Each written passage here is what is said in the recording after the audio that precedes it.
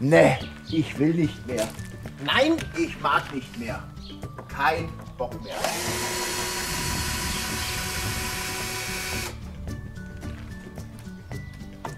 Was machst du da?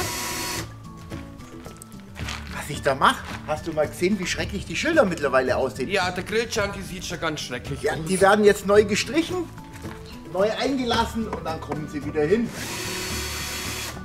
Ja, Freunde, was habt ihr gedacht? Dann Hallo? musst, dann musst du aber das Ding da außenrum auch gleich mitpinseln. Das können wir machen. Ja, hallo zum neuen kleinen ja, Grillkoter Bauupdate-Video. Die Teile werden angeschliffen, abgeschliffen, neu eingelassen und die Schriftzüge ja, mit der Farbe nachgezogen. Und das machen wir in diesem Video.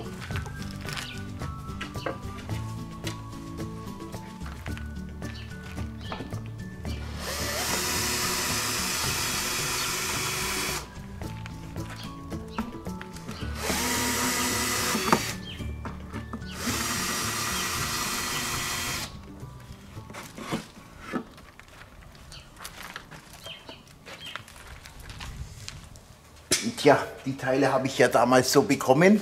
Kuckuck. Und äh, die waren schon eingelassen, aber leider nicht mit so einem qualitativ hochwertigen äh, Mittel, wie wir das verwenden. Muss man leider so sagen. Und ja, jetzt werden sie halt kurz angeschliffen. Erster Gang mit einem 180er, dann habe ich noch äh, 320er, glaube ich, ja. Und ja, Schleifen, Schleifen, Vorschleifen, Nachschleifen und dann werden die ja, komplett nochmal neu eingelassen. Also ich mache jetzt bloß die Vorderseiten und die Kanten, Rückseite, ja, gehe ich vielleicht auch mal drüber kurz. Okay.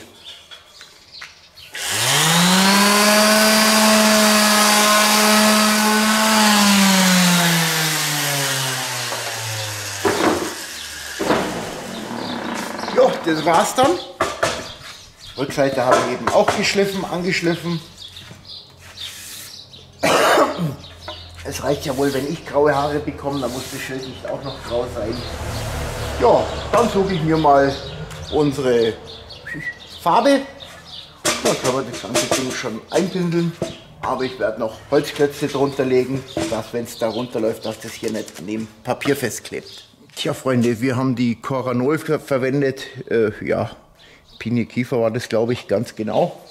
Und mir persönlich ist das mit jetzt das Beste, was mir bis jetzt bisher untergekommen ist. Das Zeug ist einfach geil.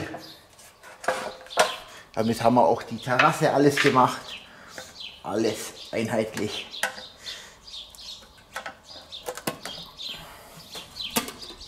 Oh je, der Botte steht halt jetzt schon wieder Jahr, äh, zwei Jahre. Das merkt man.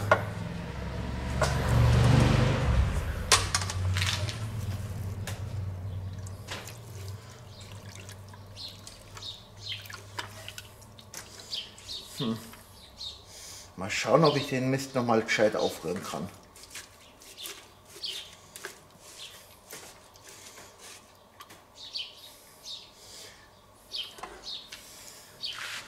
Das ist halt das Problem, wenn sowas lange steht, dann bilden sich solche, naja, Barzen. Ich probiere jetzt mit einem Akkuschrauber und einem Quoll das aufzurühren. Ein paar Bröckerle haben wir halt noch drin, aber ich denke, die Farbe können wir jetzt wieder verwenden.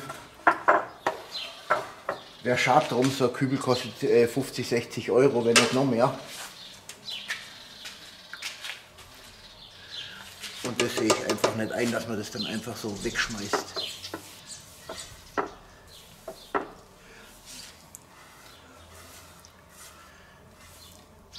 Da schleife ich dann lieber, wenn es trocken ist, nochmal leicht drüber. Die Vorderseite sieht man die restliche Farbe durch ein Sieb durch, durch so ein Lackiersieb.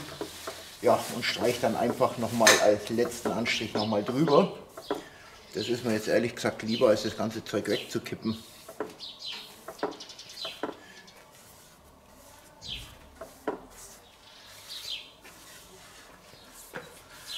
Viel Bröckerle haben wir drin, Schatz. Ja. Aber ich kann es nochmal verwenden. Da ist nicht so viel verkleckern. Ja, mei. Weißt du, das schleife ich nachher dann nämlich nochmal an. Am Schluss die Oberseite, die Sichtseite, filter das Zeug nochmal durch und streich, mach dann nochmal an, an Du Anstrich. hast hier Nasen. Das ist doch mir wurscht. Das ist nicht wurscht. Wir haben auch gestrichen ohne Nasen an der Grillquota. Frauen. Ja, die Rückseite wäre soweit fertig. Da mache ich dann gar nichts mehr. Erst einmal jetzt antrocknen lassen und dann kann ich es umdrehen und die Vorderseite streichen. Und wie ich es ja jetzt schon zweimal gesagt habe, äh, am Schluss schleife ich nochmal drüber. Leicht, tu das, die Farbe nochmal durchsieben und dann gibt es dann den Deckanstrich. Ja, mittlerweile schon an der Außenseite weil das Zeug soll ja auch trocknen. Wenn ich jetzt wirklich innen die Schrift nachzeichnen will, sollte das richtig trocken sein. Aber das muss ich mal echt noch überlegen, ob ich das überhaupt mache. Na, ich glaube schon. Es kann natürlich auch sein, dass die Bretter nur abgeflammt waren. Das, Leute, das kann ich euch gar nicht sagen. Dann wird es erklären, warum die schon so furchtbar ausgesehen haben. Aber ja, danach sehen sie wieder gut aus. Hehe. ja, vielleicht muss ich ja gar nicht nachschleifen.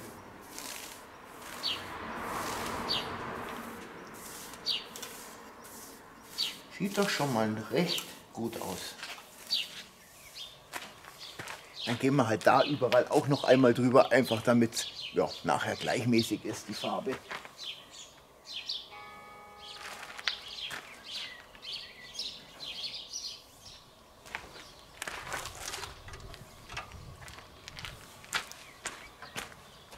Ja, Freunde, das war's dann soweit schon.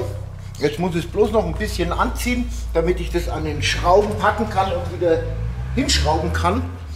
Hier drin ist halt die Farbe in der, der Schrift ein bisschen dicker. Die sollte noch ein bisschen anziehen, dass man das nachher nicht rausläuft. Aber ich denke, das kriege ich heute alles noch hin.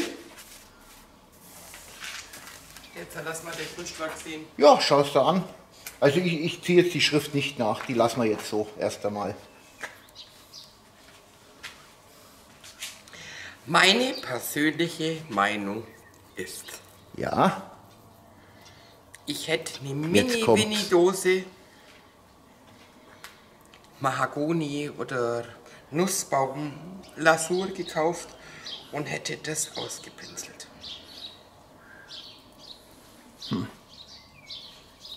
Dann schraube ich es nochmal weg. Da fragen wir jetzt die Zuschauer, was hältst du davon? Ist meine persönliche Meinung. Oh, du, so machst, mit dunkler Lasur. du machst mich wahnsinnig, Frau.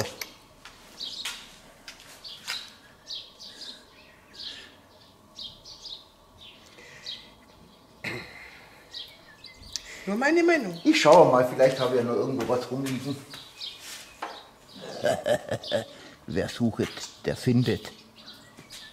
So, dann nehmen wir einfach noch die dunkle Schlonze hier.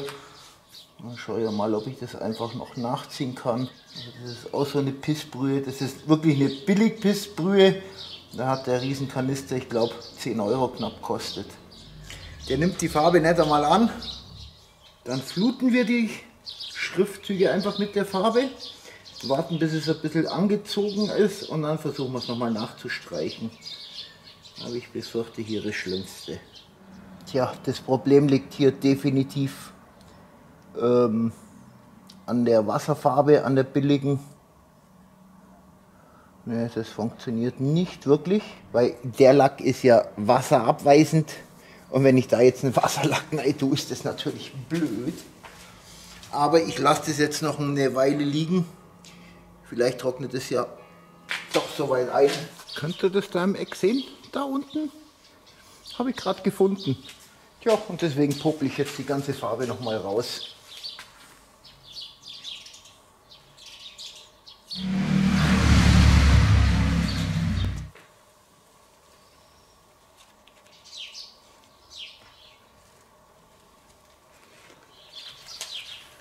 Jesus, Maria und Josef. Die Pampe ist auch zwar auch auf ja, Wasserbasis, ähm, Acryllack äh, auf Wasserbasis. Ja, geil. Warum ist Acryllack auf Wasserbasis? Aber der hält zumindest halbwegs. Tja, und jetzt gibt es halt ein bisschen Kunstmalern. Dass Frauen immer so viel lästern müssen, Leute. Ich gebe mir hier so eine Mühe. Und dann kommt Schatzi doch tatsächlich an und fragt mich, ob man das wieder rausschleifen kann. Ich glaub's ja gar nicht.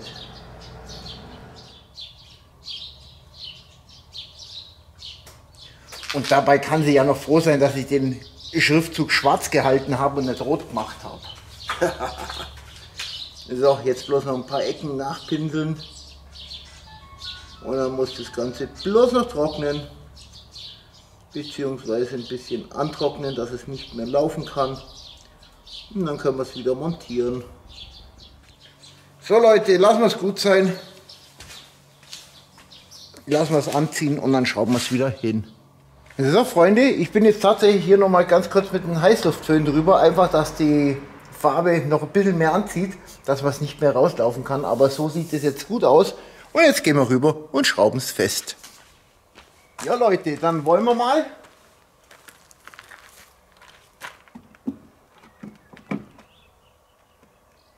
Mann, wie war denn das drin?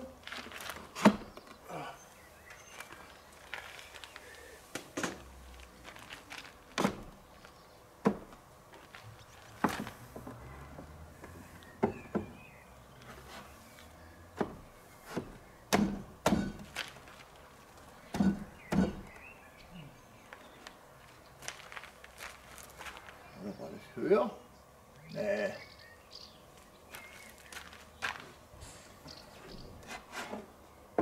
Höhe in etwa.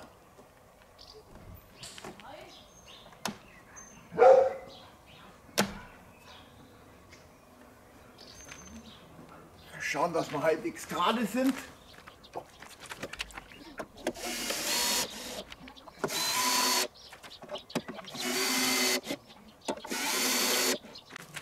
Fertig. was wir jetzt noch machen, jetzt schauen wir uns noch die Sommerbepflanzung von Schatzi von der Grillkota genau an. Also ich finde, das sieht gut aus. Gefällt mir. Tja, schöne bunte Blumen wieder. Das hat schon was. Das ist schon ein Schmuckstück hier vorne im Hof. Ja, da hinten muss ich noch eine Distel rausrupfen. Mache ich auch die Tage.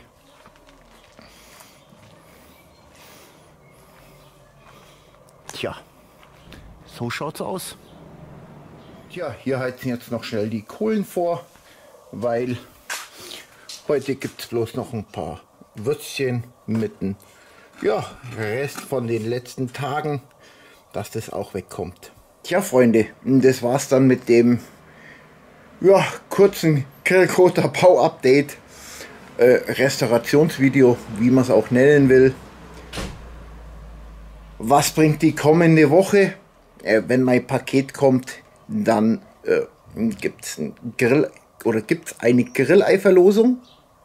Bin ja gespannt, ob es irgendjemand dann richtig errät. Ja, und ansonsten gibt es nur schnelle Sachen. Puh, vielleicht, dass ich wieder was mit dem Opti-Grill mache, aber da kann ich jetzt momentan noch nichts dazu sagen, weil ich einen Haufen andere Arbeit noch habe die Woche. Und naja, wir werden sehen. Und ihr natürlich auch. In diesem Sinne, Tschaikowski, bis zum nächsten Mal. Mhm. Und jetzt erst einmal noch einen Schluck Kaffee.